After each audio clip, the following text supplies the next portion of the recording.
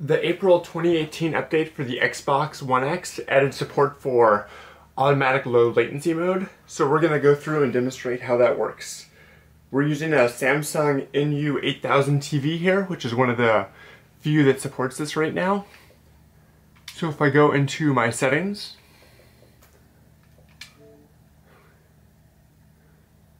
we will go down to display and sound, video output, video modes, and here you see allow auto low latency mode.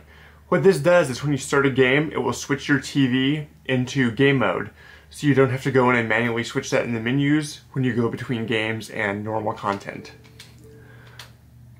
So to show this, we'll go ahead, we'll launch Hulu for example here.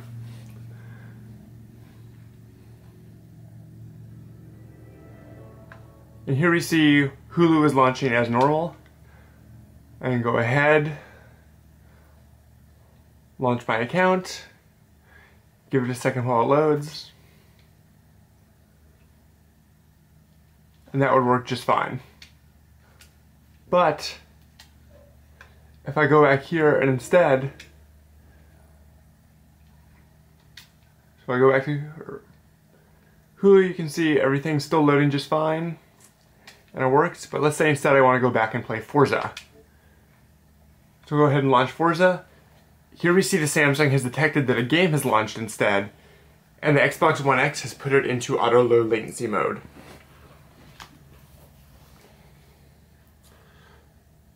So game mode will turn on as soon as you fire up a game.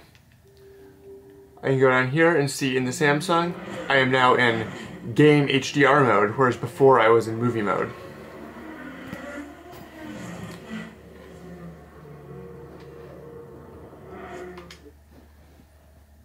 Quit out of there, go back to home, game mode turns off, I go back here to the Samsung, I can confirm I'm back in movie mode.